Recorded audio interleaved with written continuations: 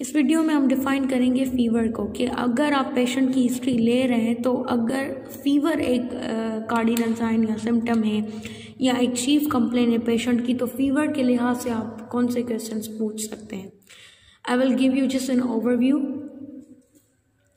fever का मतलब होता है कि आपका body temperature normal set point से बढ़ रहा हो। अगर fever one O one Fahrenheit से लेस देन है तो ये है लो ग्रेड फीवर अगर वो 101 से 106 फेरानाइट तक के और ग्रेटर देन द 101 वो हाई ग्रेड होता है. और अगर फीवर मोर देन 106 फेरानाइट है तो this is the hyperpyrexia hyperpyrexia fever के लिहाज से जो हमारे क्वेश्चंस होते हैं कि फीवर कब हुआ? फीवर का ऑनसेट क्या है? ठीक है फीवर आहिस्ता से हुआ, या फिर जल्दी से हो गया ग्रेजुअल ऑनसेट है, या फिर सडन ऑनसेट है। फीवर के साथ हम एसोसिएटेड सिम्टम्स भी पूछते हैं। अच्छा फीवर का हम कैरेक्टर इस तरीके से पूछते हैं कि फीवर के टाइप्स होते हैं। एक होता है कंटिन्यूस इंटरमिटेंट रेमिटेंट और दूसरे अगर हम कहें कि high grade low grade onset में ग्रेजुअल कहें या सडन कहें।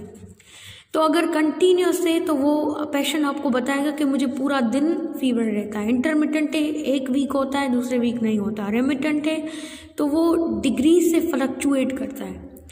तो ये इसका हो गया कैरेक्टर उसके बाद हम आ, कहते हैं कि फ़ीवर के साथ आपको एसोसिएटेड सिम्टम्स कौन से हैं? एसोसिएट पेशेंट कहेगा कि मुझे फ़ीवर के साथ वॉमिटिंग भी हो रही है। तो ये उसका एसोसिएटेड सिम्टम हो गया। जैसे कभी कभी ना एब्डोमिनल पेन में पेशेंट को फीवर भी होता है उसके साथ वॉमिटिंग भी हो रही होती है। फीवर के साथ बॉडी एक भी है। ये एसोसिएटेड फैक्टर हो गया। फीवर के साथ हेड एक भी है। ये भी एक एसोसिएटेड सिम्टम हो गया। तो डायरिया है या कॉन्स्टिपेशन है इस तरह से हम उसको एवेल्यूट करेंगे।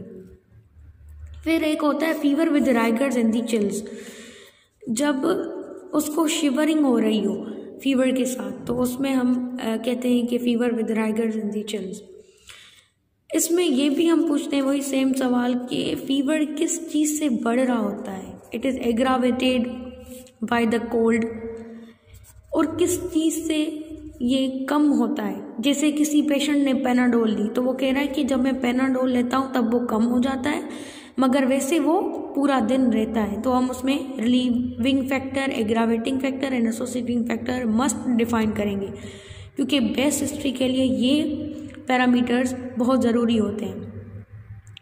और ये पूछते हैं कि फीवर की जो पीरियोडिसिटी है, जैसे मतलब यहाँ कहें कि अकरेंस कब हो रही है? ज़्यादा नाइट को हो रहा है या मॉर्निंग को हो रहा है? तो ये भी उसमें हम ऐड करते हैं कि फ़ीवर ज़्यादा नाइट को आपको हो रहा है या मॉर्निंग में हो रहा है। वैसे तो बहुत सारी डिटेल्स हैं, मगर उनमें से जो बहुत डोमिनेंट है फैक्टर्स उसको मैंने डिफ़ाइन किया नर्शल में।